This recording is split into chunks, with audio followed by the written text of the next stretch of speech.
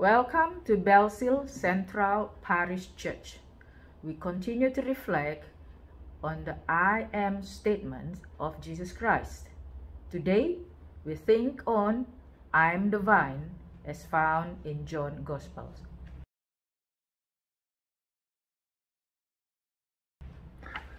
I am the vine, ye are the branches. He that abideth in me, and I in him, the same bringeth forth much fruit. For without me ye can do nothing. John 15, verse 5, King James Version.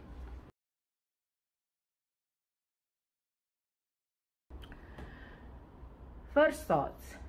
The image of a branch gaining all its sustenance and strength from the parent vine is a beautiful description of man's total dependence upon God, without whom we can do nothing. For in him we live and move and have our being. When Jesus Christ, the Son of God, walked the earth, he demonstrated this truth. For he lived his entire life in utter dependence upon the Father. I can do nothing of myself, he said. I speak only that which I have seen from my Father. Though Jesus Christ was fully God, he lived his life in his humanity. Jesus lived as God intended man to live, in utter dependence upon God. Christ walked in spirit and truth and only said and did those things that he heard from the Father. He demonstrated how man should live. He lived his life so that the life of God could be lived through the Son of Man in his humanity. Although Jesus Christ was fully God, he drew all his strength from his Father in heaven, demonstrating how you and I should live our lives as God's children drawing all our strength from our Lord Jesus Christ, for without him we can do nothing. We are to walk in spirit and truth, and to do only those things that we hear from Christ our Savior, so that his life may be lived in us and through us. Until we humbly confess that in and of ourselves we can do nothing, we will foolishly and unsuccessfully attempt to produce good fruit in our own strength. Let us meditate on this vital principle that Jesus is the vine and we are the branches.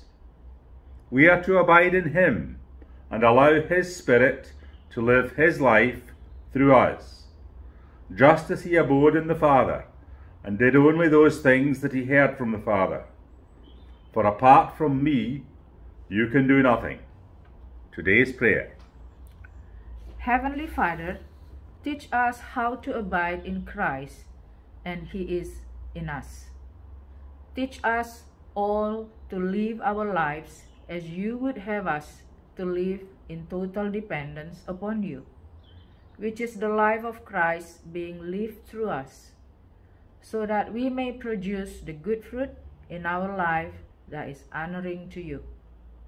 This we ask in Jesus' name. Amen. Amen.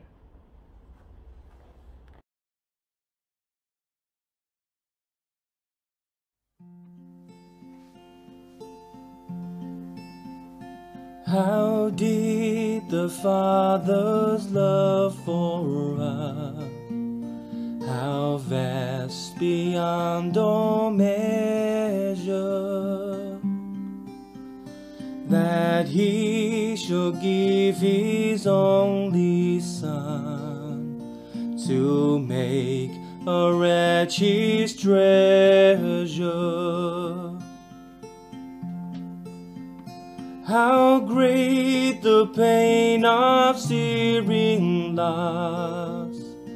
The Father turns his face away as wounds which mar the chosen one bring many sons to glory.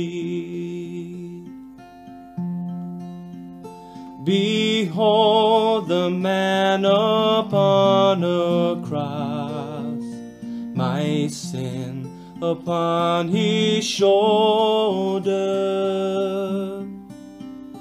Ashamed, I hear my mocking voice call out among the scoffers.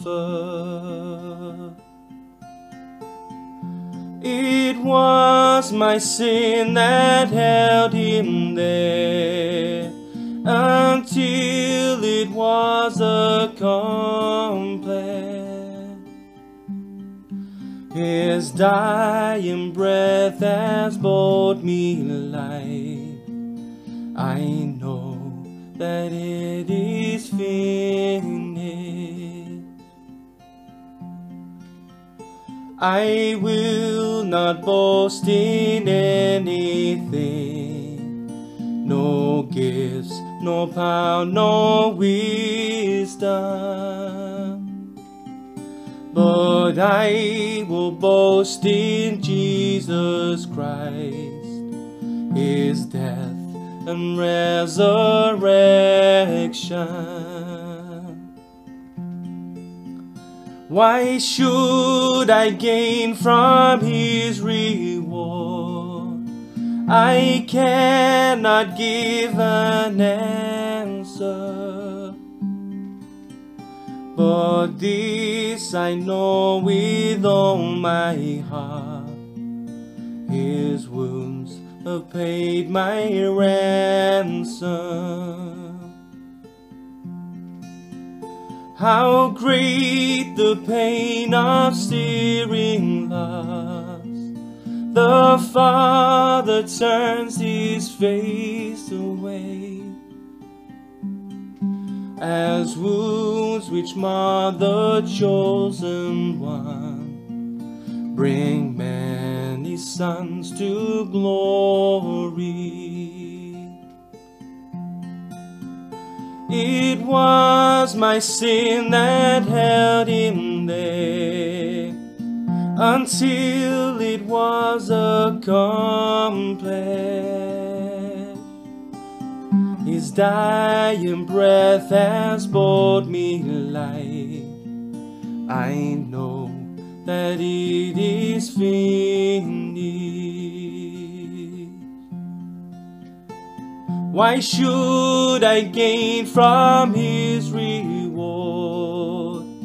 I cannot give an answer. But this I know with all my heart His wounds have paid my ransom.